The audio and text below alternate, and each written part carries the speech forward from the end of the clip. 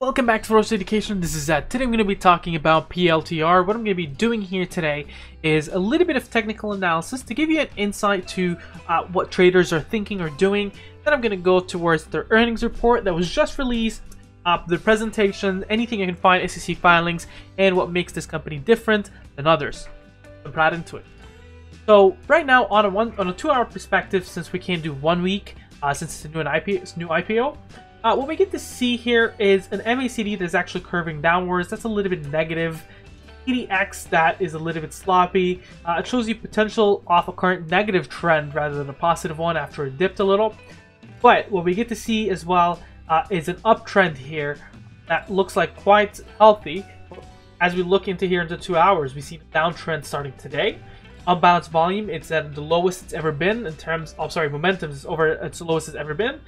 And William percent R is still not even gold with that massive 15 or 13% dip. Moving averages here, uh, there's no point of really mentioning it, but 1244 on the top, 1131 in the middle, and 1018 at the bottom, with very low significance. Now, the stochastic fast and stochastic slow, they don't really have much information here, so let's crank it up to two hours and see where that goes. Oh, we get to see here is it really shows you that it might be time to buy after hours because of how low it's getting, but we want to make sure it stabilizes first. A really strong support is at the 1393. We'll talk about supports right now. And so first we'll start with the Fibonacci retracements at 1706, the 52-week high, down to the 907, and we get to see a Fibonacci retracement support at the 1401, below that 1306, below that 1212, and you get to see it's actually looking really nicely, even the 1095. So this one is following the Fibonacci retracement. Resistances currently is at the 1535, followed by 1706.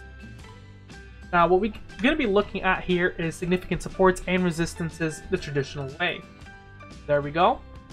We're going to do uh, a price line action. We get to see here, the current support it's sitting at is actually 1394.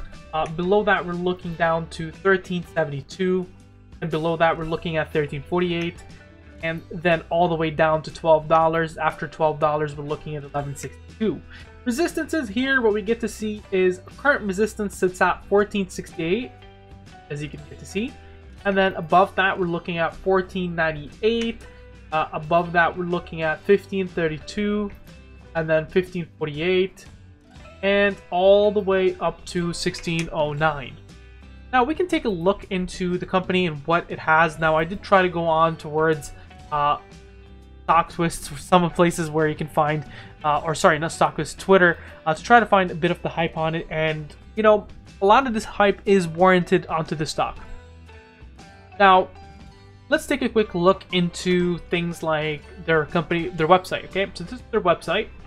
Uh, first thing you see is that their entire website is powered by Apollo, entire kind of operations are. And when you go on towards their products, you see three main products. Palantir, Gotham, the Foundry, and the Apollo. And the Apollo is basically the power of SaaS in, uh, in places where no SaaS has gone before, amplify and extend power of data integration, integrate, manage, secure, and analyze all your enterprise data.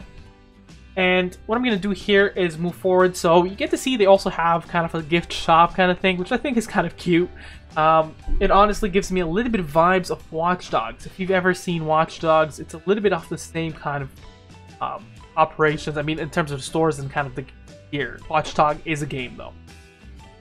And then looking into the media, they have a lot, a lot of information for you. You literally can have in and sit all day pouring into media's um, basically information all the way back to 2009. Uh, a lot of interest on it though is for uh, Alex Karp, uh, which is what we call him the planter chef. So there's that. Now taking a quick look into next thing, which is the press releases they had. Um, so NCATS awards Planter Technology $36 million in contract to support secure scientific platforms environment. U.S. Army Research Lab select Planter, uh, Palantir Technologies and Corporations for $91 million artificial intelligence and machine learning developments, Humata Ho uh, Holdings, and uh, them to begin work accelerating digital transformations of the logistics industry in Japan. Now, the last thing here is Planter Technology joins the Trinity Challenge. So, what's the Trinity Trinity Challenge? Sorry, uh, it's basically a challenge that uh, goes on toward or list of companies that have gone together to for the aim of increasing the world's resilience against the pandemics of the future by harnessing the power of data analytics and truly collaborative problem solving. I realized that this screen is actually a lot smaller than I anticipated. There we go. And it says alongside, including Google, Microsoft, Facebook, McKinsey, and uh, company, the Gates Foundation, the University of Cambridge, the Swiss Re, Palantir. Uh, so there are a bunch of different companies on there. You get to see a lot of big names. That is positive news. So one thing here is Planter is not a data company, um, and that is something they're really trying to push. This was a three-minute read on Medium, uh, left by them around yesterday, actually. And so their business model is not a data broker or a data aggregator. It's unlike many tech companies. Our business model is not based on the monetization of personal data. We do not collect, store, or sell personal data. We do not use personal data to train prop, uh, to train proprietary AI or machine learning models to share or resell with other customers. We never facilitate the movements of data between clients except when there's our specific clients have entered into our agreements with each other. Palantir is a software company, so basically, from my understanding, is a software company that basically uh, tries to bring solutions to their clients rather than analyzing data. Um, and if you get to look into their website, they have as well basically a blog, which a lot of it is posted on medium.com you get to see a lot of these informations that are really interesting on how they work and how they operate, as well as all different kind of interesting things. I mean, they're definitely an interesting read, uh, whether it's data science, engineering, software engineering, developments, and everything in between. Next thing is their investor relations. This is where we come. Now, I'm going to go thoroughly into their presentations because I think there's a lot to cover here. But nonetheless, first bit of the presentation, they're here, they show you basically some of their clients and some of the latest developments for these kind of operations that their kind uh, sorry their program supported. So basically they say congratulations to the U.S. Justice Department on its settlement with uh, Purdue Pharma and the fight against opioid epidemic in America. It supports the Department of Justice with Planter Gotham. Remember Foundry Gotham and there was another third one uh, Apollo, so they support him here with Gotham. Wow, the names are really catchy. I kind of remember them. That's another catch for you. And then the next thing is congratulations to the World Foundation program on its Nobel Peace Prize, and they support him with the Foundry. And then uh, in uh, in AWE, often oh sorry, in an hour of grateful for the services of our special operators. October's rescues is yet another amazing accomplishment, one that often goes unrecognized. Uh, they support them with special operators. Next is the revenue. Revenue has increased from year to year by 52%. Uh, adjusted operating loss, it looks like they have lost to income, so that is positive news for them. Uh, I'm going to go towards their earnings a little bit more in details after this uh, presentation. They have basically a COVID-19 kind of focus as well here with terms of operations right here. COVID-19 forced institutions to transform quickly in order to survive, and they're helping those customers with doing more with less in terms of software solutions. An energy super major developed an ERP suite in hours, and within two weeks, it generated $57 million of cash saving and expected sorry, and it's expected to generate $1 billion of annualized ba uh, basis. The aerospace customer signed the largest commercial deal uh, we've ever done in the midst of a pandemic that shook the entire industry, and that goes on towards $300 million in five-year renewal. Next thing you're looking at is a Fortune 100 consumer goods company deployed an ERP suite to quickly uh, respond to COVID-19 related disruptions. Now our platforms are connecting the entire value chain from procurement to distribution. Next thing, is the top 5 pharmaceutical company is linking data from more than 2,000 clinical trials in Foundry to uncover trends across trials and securely analyze outcomes at population levels. Next thing is their software is becoming the de facto operating system of US and allied defenses. Basically, they signed a two-year agreement with $91 million contract with the US Army Research Laboratory, and then we're looking in terms of enabling mission command for NORAD and the US Northcom and slash NC joint all domain command and contract for JADC2. A bit more information on that, I'm not going to go through that. Their software is becoming the infrastructure for the US healthcare system from R&D to distribution and the public to private, from public to private. They signed a $36 million contract to support NCATS efforts including cancer research, COVID-19 research, and PEPFAR. Next is powering N3C slash Unite, an effort from the NIH to collaborate with Clinical and Research Institute. Next thing here, supporting the complex supply chain and logistics for COVID-19 vaccine distribution. Um, and they're basically powering and securing cross-border collaboration for pandemic response and beyond. Next thing is powering the NHS as the National Health System, England's allocation and distribution for more than 2.7 billion pieces of PPE from port to patient. And next is supporting the President of Colombia through the nation's pandemic response. And they have the financial updates. 52 million increase year on year in terms of quarter three. Average revenue per customer has increased by 38 million, and average revenue for the top, top 20 customers has increased by 36%. Adjusted operating uh, income, so our adjusted operating income quarter two was 73 million dollars, and adjusted operating margin was 25%. Next is revenue from our top 20 customer continues to grow while customer concentration is decreasing. Uh, so that is positive news as well. Commercial revenue increased by 35%. Government revenue almost uh, three quarters more, around 68%, so two thirds, so sorry, more above there. Uh, and the next thing coming up is the revenue slash contribution. So the accelerated growth in all three phases of the business model, whether you're talking about acquire, expand, or scale. And so the acquire, you're looking between uh, 41 from 19 to 254 for expand from 161, 452 from 296.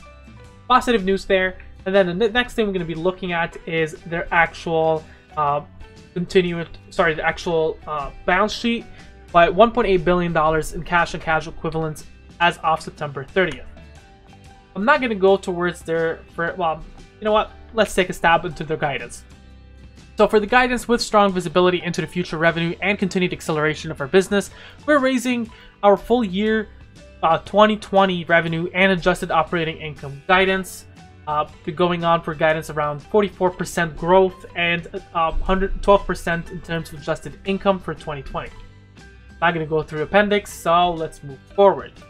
So some of the solutions they have, as you get to see from the presentations, AI and machine learning, automotive, auto racing, case management, cyber, defense, financial compliance, GDPR, uh, insurance, intelligence, law enforcement, legal intelligence, manufacturing, mergers and acquisitions, pharma, RWEs, uh, sales and revenues, and Skywise. Those are all the clients or solution or uh, solutions for clients uh, kind of fields. I'm not going to go through products. I kind of did skim through that, and now comes in towards their 8K, 208. $289.4 million in revenue for the third quarter, as I said, 52% year over year full 2020 year revenue guidance raised from, uh, sorry, to a range of 1.07 billion to 1.072 billion, up 44% year over year. And then we're looking at new contracts in third quarter, including the U.S. Army $91 million, National Institute Health of $36 million, and $300 million renewal with their aerospace customer. Now let's dive all the way down towards their revenue. Revenue three months ended, this is in thousands, 289 million compared to 190 million before. You're looking at a gross profit that is really high. Now 2029 months ending September 30th, it looks better than 2019. Uh, not as double as you get to see, but you get to see year over year, it's double. 2020 versus 2019 it's not double.